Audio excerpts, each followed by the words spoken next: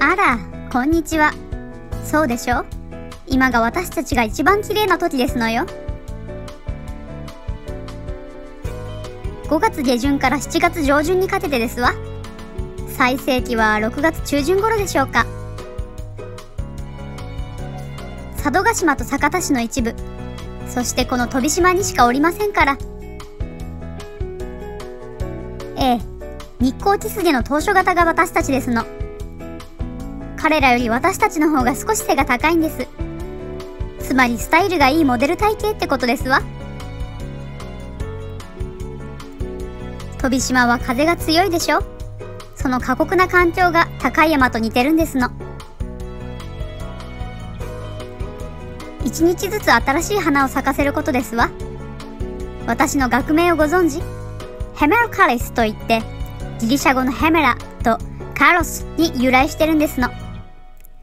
美人短命と言いますけど、美しさは一瞬の儚さなんですのよ。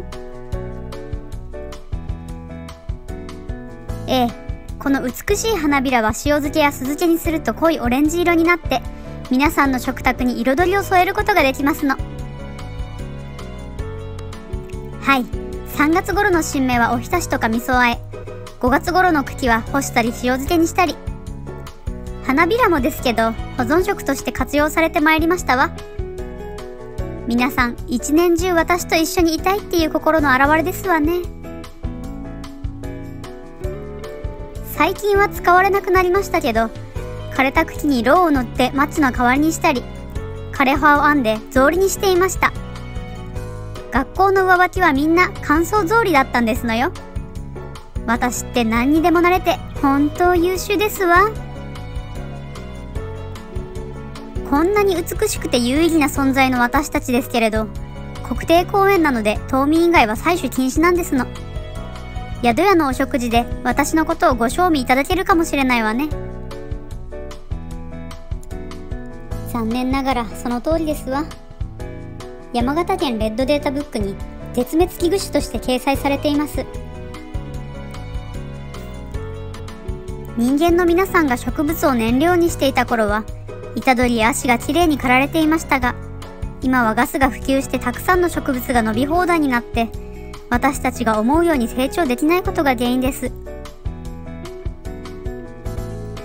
美しい私たちを守り、増やそうという方々が現れてくれましたわ。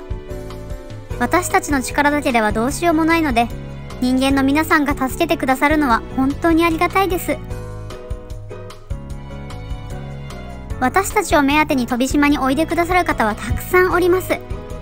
特に6月の週末なんかはね海をはるばる越えてそう私を鑑賞しにね飛島肝臓という名前にも誇りを持っていますわ。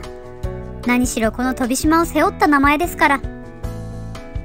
これからも飛島肝臓の名に恥じぬようにここで咲き続けていきますわ。